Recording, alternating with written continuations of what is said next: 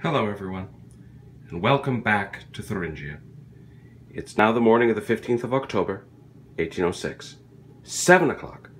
Usually I come here at 6 o'clock, because that's dawn.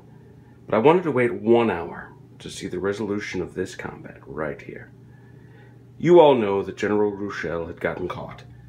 Now, as you can see, General Weimar, off here, just a little bit up to the right, has run away. His morale is shattered, and his 10,000 troops are streaming back to Auerstadt because they realize they can't make it all the way back to the north.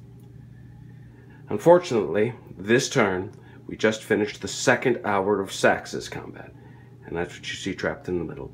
His men too have broken and will begin to flee. The problem is that up there to the north of him, on that road, are the troops of Marshal Murat, some of the best cavalry in all of Europe, and they are going to ride him down and do a fair amount of damage. However, the French have suffered a fair amount of fatigue, and the plan generally that I've been told from all the commanders, the plan I've been told generally from all the commanders, is that they want to rest here for the day now that their troops have been gathered together. Over here, we see the last remnants of the troops of Marshal Davout who have made it to the Erfurt-Weimar road. These are the troops of General Blücher. They're leaving. They're heading up here along this road, making their way up through Naumburg and eventually all the way there to that concentration.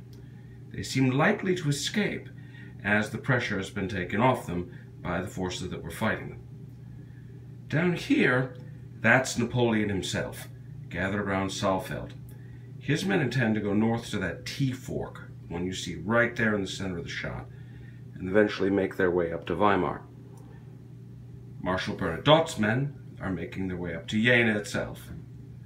Over here, we have the forces of Marshal Ney, who are making their way up to Gera. And over here, we have the forces of Marshal Soult, who have resumed their march from their march from Zwickau all the way up to Altenburg. Those troops are digging in and preparing to defend themselves, having marched significantly and needing a fair amount of rest. Up here, the forces gathered around Leipzig are also preparing to group together and prepare to rest.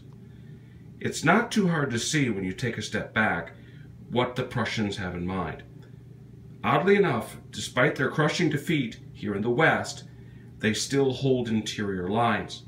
The question going forward is whether the French will be able to coordinate their superior numbers in a way that allows them to attack and crush the, the Prussians that are holding against them.